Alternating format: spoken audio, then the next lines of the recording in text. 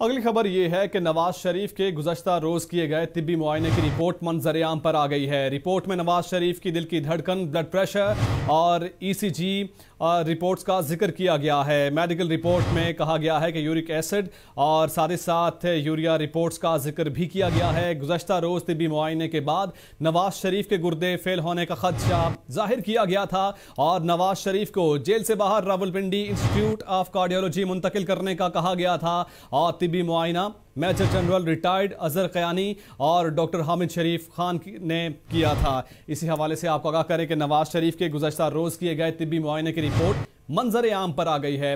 Report میں نواز شریف کی دل کی دھڑکن، blood pressure E C G reports کا ذکر کیا گیا ہے اور میڈیکل رپورٹس میں یورک ایسڈ اور ساتھ ہی ساتھ اس حوالے سے آپ کو آگاہ کریں کہ یوریا رپورٹس کا ذکر بھی کیا گیا ہے۔ اسی پر بات کریں گے کیپٹل ٹی وی کی نمائندہ امبرین علی سے۔ امبرین بتائیے گا اس بارے میں۔